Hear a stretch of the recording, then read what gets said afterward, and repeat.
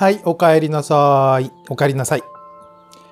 今日はですね、あ、この人は徳を積んでいるなってね、そう思われる人の特徴について話したいと思います。まあ、このね、特徴ですが、一つね、言っておきたいのは、私ね、聞いたんですが、ね、神様から見ての特徴っていうのがあって、うんまあ、私はね、まあ、こっちの方も、私はね、大事だと思うんです。うん。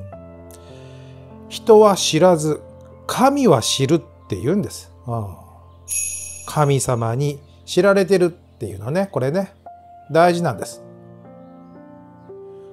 えー、私のね、私の話をしますとね、あの私の大叔母でね、まあ、90歳を前にしてね、もう何年か前に亡くなっておりますけれどもあの最後はね寝たきりになって、うん、あの独身でね、うん、子供もいなくって、まあ、私にとってはですよ。私にとっては小さい時に乳母みたいなね感じで、まあ、育ててくれていてねそのおばさん。うん、と言ってもねこの、まあ、体が不自由でまあ、死体不自由のね身体障害っていうのがありまして、うん、あの左手とね左足が曲がっててですね、まあ、不自由なおばさんで それでね私はこの小さい頃はねこのおばさんと一緒にこう暮らしてたんですけれどもでね、まあ、一緒に旅行に行ったり、うん、私の小学校の運動会にもね来てくれてたりはしてたんですけどもまあ、正直言ってね、結構ね、これね、まあ、めちゃくちゃなおばさんだったんですよ。あのね、面白いんだけども、ほんとね、まあ、でっかい声でね、ずっと民謡とか歌っててね、まあ、歌って近所を歩くような人でね、うん。本当ね、近所でも評判っていうか、まあ、ちょっと変わった人っていうかね、まあ、人気者でね、うん。いや、思い出すな。本当まあ、人気者でね、まあ、だいぶね、まあ、まあ、家族もそうですけども、周りの方にもちょっとね、迷惑もかけてたんだと思うんですけれども、あの、名前から取ってね、えー、牛おばちゃんってみんなね、うちでは呼んでたんですけれども、このね、このね、牛おばちゃんは、この、うるさいから歌うなってね、じいちゃんに怒られてもね、ああ、じいちゃんってね、この、このおばちゃんの兄にあたるんですけども、まあ、歌うなって言われても、ね、なんでやって言って、もっとでっかい声で歌うし、でね、でっかい声だしね、まあ普段の喋ってる声もでっかい声なんですよね。でもね、もう家族にも、まあ近所にも、まあ声かけられてね、牛おばちゃんどうした？元気か？みたいにね、ほんとね、好かれてたんですよ。ね。まあ、この好かれてたっていうのはねこれ人にもね迷惑をかけてるんだけれどもね周りの人にそれ以上の何かをね与えてたんです。うん、もちろんねあの体がそういう不自由でもちろん働いたこともなかったですしうんねまあちょっと頭も弱かったのかなまあそういう感じなんですけどもうん私はねたくさんのものをもらったし教えてもらってたんです。うん。一番はねやっぱりね一番はね愛。うん、愛でしたねあれはね本当。うん。今もですよ。今も。私のことを愛してくれている、うん、今日はですねあこの人は徳を積んでいるなっていうふうに思われる人の特徴について話したいと思います。ねまあ、今日もね後ほどね見えない力をね波動を送らせてもらいます。自分はねあんまり徳を積んでないしこれからもできそうにないみたいに思っている方ね、まあ、結構ねいるみたいなんですけどもこれね人から見たらですよ私んとこのこの牛おばちゃんなんていうのはお金を稼いだことなんか一度もないし施しを受けて生きてるみたいに見えてたかもしれないですけども、ねまあ、そういうのはね人を見下した見方で間違った見方なんです。それはね。ね。だって私やこの家族はねたくさんの良いものをもらったしね。そして今も守ってくれてる。ね。感謝してるんです私。ね。目に見えないものが大切です。見えてるものにはね間違いが多いですよ、ね、間違いが多いよ、ね、そう思いませんか、ね、感じませんか、うん、はい。それではね後ほど見えない力をお送りします。受け取ってください。ね。それではこの人は徳を積んでいるなと思われる人の特徴について始めます。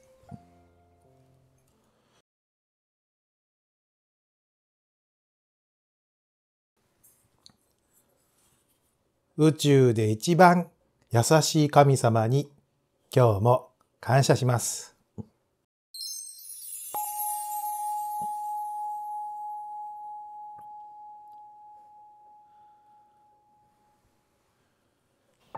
こんにちは。開運案内人、池田宝光です。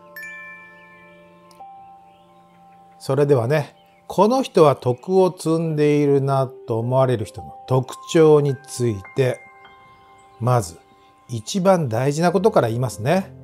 これね、自分を恥じないっていうことです。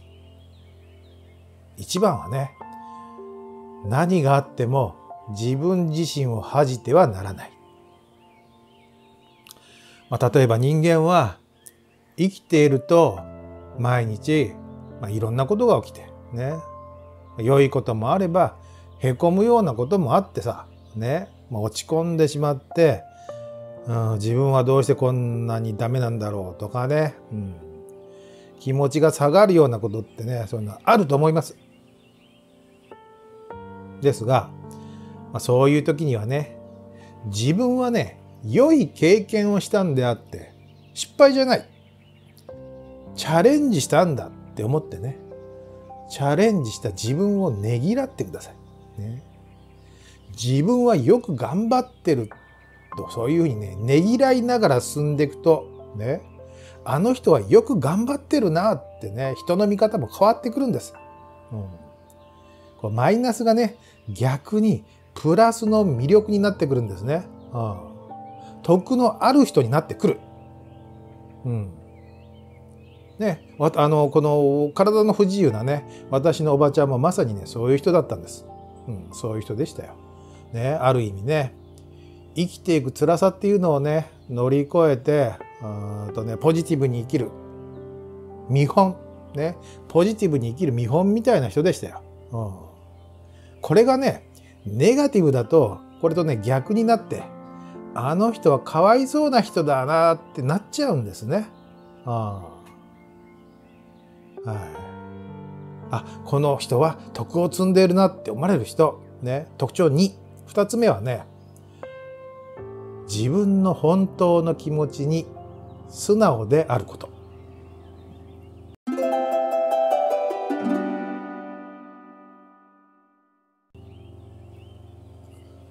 自分の感情にねまっすぐ素直に生きてる人っていうのはうんと、ね、うちのおばちゃんみたいにね重度の身体障害者でも人から魅力ある人に見られて、ね、人にいい影響っていうのを与えることができて、ね、できて、ね、徳を積んでるんです。徳を積んでるの。うん。あれね、おばちゃんね、とにかくね、歌うことが、うんと大好きで、ほんとね、始終ね、歌ってばっかりだったんだけど、でね、老人ホームに入ってからですね、なんとね、人気者になったんですね。まあ、とにかくね、あの、いるとね、明るくなるんですよ。ね。その場がね、なんかね、宴会場みたいになってね、まあ、入居者でね、こう認知症みたいになっている人でも、こう一緒に歌い始めたりするんですよね。手を叩いてさ、喜んだりね。で、喜ばれてさ、あの、人気者になってったの。うん。うん、でもね、まあ、こう自分の本当の気持ちにね、素直な気持ちに、えー、気持ちに素直であるっていうのは、案外ね、これ難しいと思いませんか、うん、でもね、自分の本当の気持ちにね、素直になってまっすぐね、素直に生きるとね、これ年齢に関係なくですよ。年齢に関係なく。神様がね、その後押しをしてくれるんですよ。ね。うん。このね、神様が後押しをしてくれるっていうのは大事。うん。大事です。うん。三つ目はね、ね、この人は徳を積んでいるなって思われる人の特徴3、三つ目はね、人の幸せのためにね、何かをしていること。うん。あ、あのね、人の幸せのために何かしているっていうと、これね、まあ寄付だとかボランティアだとかね、まあそういうのを思い浮かびますよね。うん、まあね、思い浮かぶんだけども、うん、それもあるんだけども、それだけじゃない。ね。人のために何かをするってね、まあ、いっぱいあってですよ。ね。例えば、笑顔でいること。うん、笑顔ってね、周りの人を安心させる最高の波動ですしね周りの人をね笑顔にできるんですよね。あああのねあのねあのね私思うにねいつも機嫌よく鼻歌を歌ってる人なんかはね徳を積んでる人なんです。ね。うん。音痴な鼻歌なんて最高ですよね。うん、まあ私がそうなんですけども音痴な鼻歌でねまあ少なくともね笑わすことはできてねまあ、人を悪い気にするっていうことはない。うん、ね、うん、うん、はい。まあ、この人は徳を積んでいるなって思われる人の特徴4。ね。4つ目はね、見返りを求めない。あさっきのね、人の幸せのために何かをしても、見返りを求めなければ、ね、まあ見返りがないからっつってもね、腹も立たないし、逆に神様の恩、恩返しじゃないわ。神様のね、後押しがあるんですよ。ね。ね。うん、恩返しと間違えたけども、神様の後押しがあるんです。ね。これをね、恩送りって言いますよね。恩送りとも言いますよ。うん、受けた恩は他の誰かに返しなさいと。ね。その誰かも恩送りをすれば恩はどんどん広がっていくね。恩はどんどん広がっていく。ね。そういう目に見えない法則があってですよ。日本っていうのはそういうね、徳の高い国なんです。ね。でしょ？うん。はい。五つ目はね、まあ、誰に対しても平等に接している。ね。まあ、そういう人。六つ目はね、人の陰口や悪口を言わない人。ね。7つ目はね、いつもどっしりとね、どっしりと落ち着いている人。ね。あまたね、私事でこれは恐縮ですけども、私を育ててくれたこのおばちゃんね、牛おばちゃんは、私のじいさんの妹でね、子供の頃にね、高熱を出して、この脳の一部がね、麻痺をしてしまって、体の左半分が萎縮しちゃってね成長しなくなってしまった。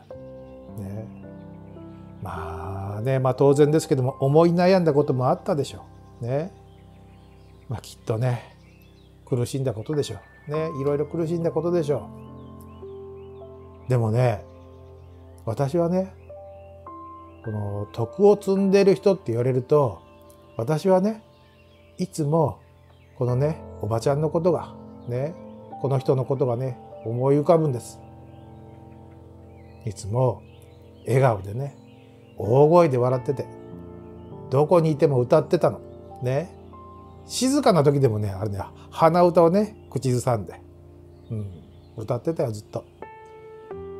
でね何かあるとね「ありがとうありがとう」っつって言ってましたよ。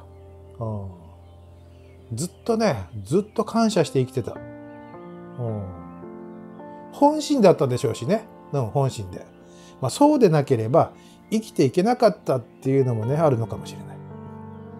でも、ね、そういう自分の人生に落ち込むことはなくていつもね明るく前向きで人の悪口とかね陰口はね、まあ、決して口にしなかったねでね私を可愛がってくれた。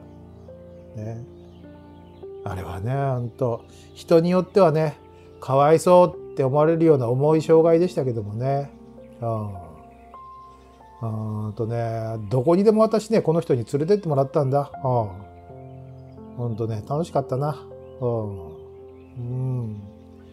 来世でもねまた会いたいなって思ってます、うん、また私の家族になってほしい、うん、今はね私の大事な大事な大事な守護霊さんの一人です。はい。それでは、これからね、見えない力をお送りしますので、受け取ってください。このね、徳を積むって言えばね、こう目に見える行為、ね、ボランティアなんかをね、思い浮かべると思いますけれども、そればっかりじゃないんです。ね。体が不自由でも、いくら年を取ったとしてもね、人はね、人に良い影響っていうのを与えることで、徳を積むことができるんです。できます。できます。ね。それがまさにね、神様の望んでいることなんです。ね。はい。それでは、利き手と反対側の手のひらをこちらの画面に向かってかざしてください。あなたの利き手はこの世とつながるこの世の手。利き手と反対側の手は目に見えない世界とつながります。感じてください。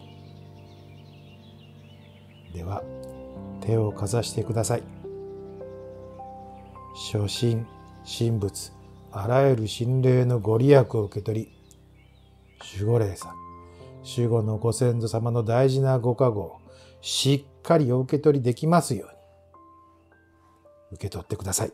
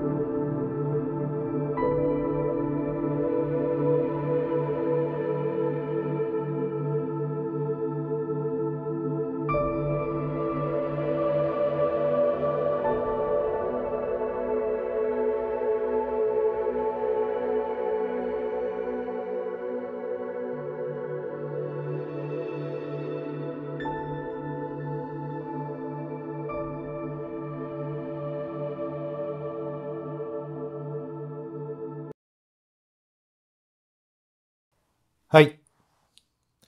お誕生日の皆さん、お誕生日おめでとうございます。